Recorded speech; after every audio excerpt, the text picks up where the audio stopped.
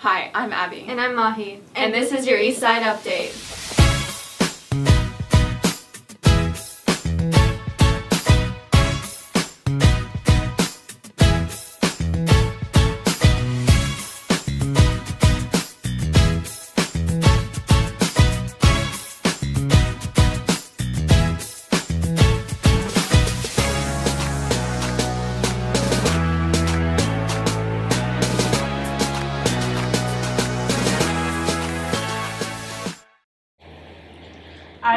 Pledge allegiance to the flag of the United States of America and to the republic for which it stands, one nation, under God, indivisible, with liberty and justice for all.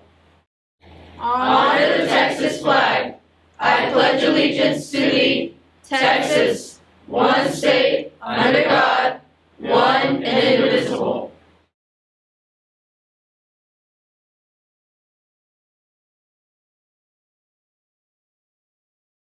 If you took the practice PSAT or SAT on September 23rd, there will be a post-test strategy session on Tuesday, October 3rd at 6.30 p.m. in the Ivy Collab area.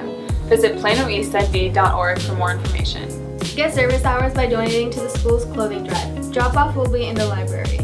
Here are the dates and times for Bowling Club trials. Trials will take place at the Plano Super Bowl on K Avenue with a fee of $15, which covers six games and shoe rental. Juniors, if you registered for the October 11th PSAT and paid through Parent Portal, go to room B2125 to get your study guide. And if you re haven't registered and would like to, go to room B2125 with cash or a check made out to PISD. Fashion Club's Mean Girls meeting will be tomorrow in room B3208 at 4.30. Join their mind by texting at Fashion77 to 81010.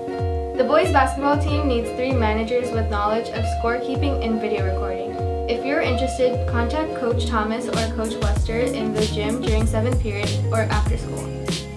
Soccer is having a fundraiser at the Nothing Bundt Cakes in Murphy from October 9th through 13th. 30% of all purchases and pre-orders during this time will go to the Plano East Soccer Booster Club. The NHS October meeting will be on Thursday, October 5th during 7th period in the Ivy Commons or in the cafeteria after 7. Makeup meetings will be Wednesday, October 11th at 8 a.m. or during 7th period in the Ivy Commons. Spanish Club's next meeting will be tomorrow in the Ivy Commons. Dues must be paid in order to attend. The Asian Student Association will be tomorrow in room B1137 from 4.20 to 5. Everybody is welcome and there will be food and officer elections.